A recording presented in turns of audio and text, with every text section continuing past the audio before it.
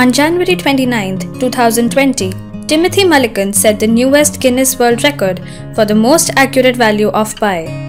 After a grueling 10 months of computation running from April 2019, he calculated 50 trillion digits of pi on a dated but still powerful personal computer.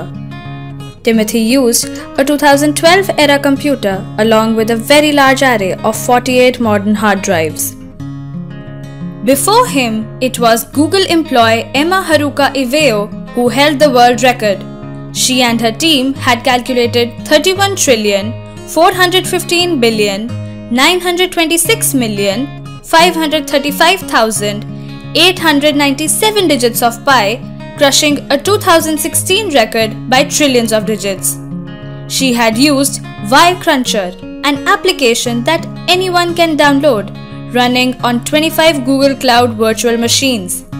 The calculation took about 170 terabytes of data and 4 months to complete.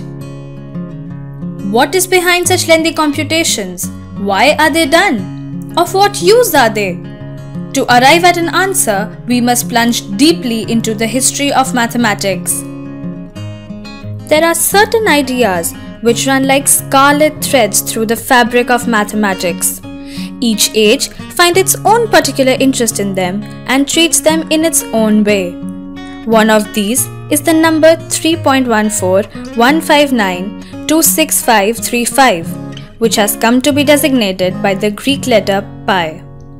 Perhaps it is more readily recognized in the rougher but simple approximation 22 by 7. Pi is the circle number. Whenever there are circles to be measured or figures that have circles in them, such as spheres, cylinders, cones, pi is sure to be of importance. It was recognized at an early period in history that the ratio of the circumference of the circle to its diameter is the same regardless of the size of the circle. This ratio is pi. The Greek mathematicians 2000 and more years ago concerned themselves with several problems relating to pi. First, what is its exact value? Second, is it possible to construct using a ruler and a compass a square whose area is that of a given circle? This is the problem of squaring the circle. Along with the trisection of the angle and the duplication of the cube, it is one of the three famous mathematical problems of antiquity. The problems 1 and 2 are related to each other. The ancients used a variety of values for the number pi, some good, some bad, a result which has a modern flavor is one given by Archimedes. He was able to provide this nice lower and upper bound for the value of pi. The method he employed was a rather good one, that of approximating the contour of the circle by polygons. Since Archimedes knew how to compute the lengths of the sides of the regular polygons with great accuracy, he was able to obtain information about circles. He used polygons with 96 sides.